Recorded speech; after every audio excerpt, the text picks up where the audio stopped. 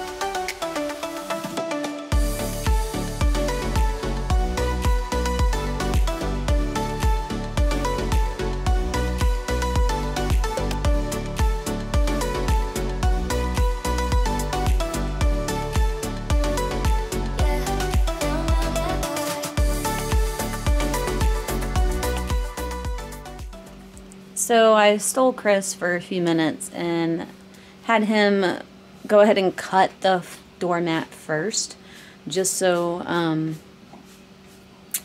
just so I applied this peel and stick uh, stair sticker correctly, because it is not wide enough um, for the backing pieces. There's going to be some space where the wood shows through, and I wanted to make sure that the wood was completely covered. So we installed the doormat on the steps, cut it to fit. Uh, it's pretty thick. Um, and then we put these on and there's going to be like a silver trim piece that's going to cover this top part and then part of the doormat I think we'll cover a little bit of this bottom. And so we drew a line where that metal piece is going to meet and where the floor mat is going to meet so that I can put this right in between so we know that no wood's going to peek through. You should have it say y'all hey. Y'all hey! well, which way do you want it? Hey, hey, y'all going up? Hey, y'all going up, yeah. Hey, down there? No. Okay. Hey, up top. Now I gotta cut the sides off too. Yeah. That's fun. The That's center and... Pain in the butt. Yeah. So Looks cute though. All I'm gonna do is take the same amount off of each one. So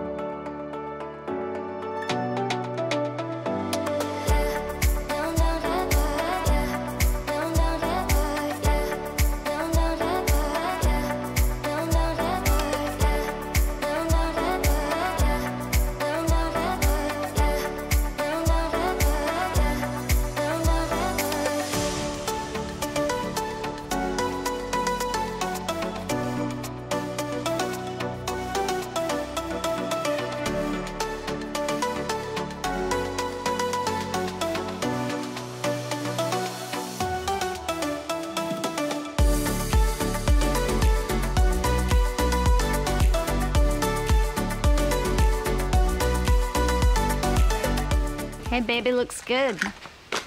I look good? It looks good. Yeah.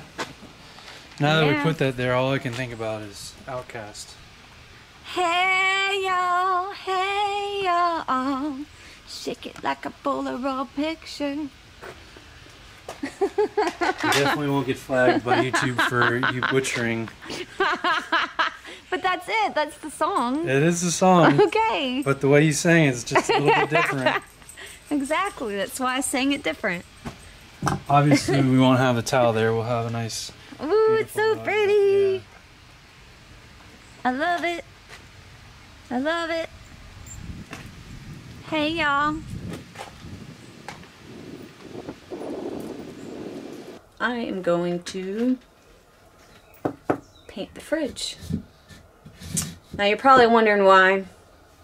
Why did I tape off the fridge? These panels are removable. Well, we watched several YouTube videos of people removing these panels off their fridge and making it look super easy. It is not. We have tried to remove these panels off this fridge. The videos on YouTube make it look easy. It's not at all. We could not remove them. Uh, we cannot get the doors off. Also, YouTube makes it look super easy to be able to take the doors off. It is not. It's been like almost impossible. So, um, I just quickly taped off. Hopefully, it works out. And I'm going to paint this bad boy.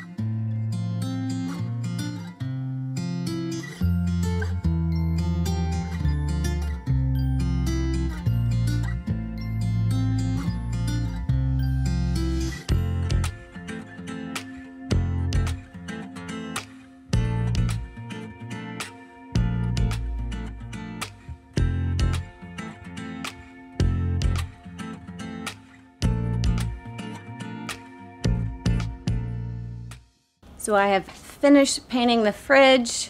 It is drying. Uh, it took about two, maybe three coats, and uh, it looks pretty good. I think that's all it's going to need. And I decided to move on and build my own paper towel holder.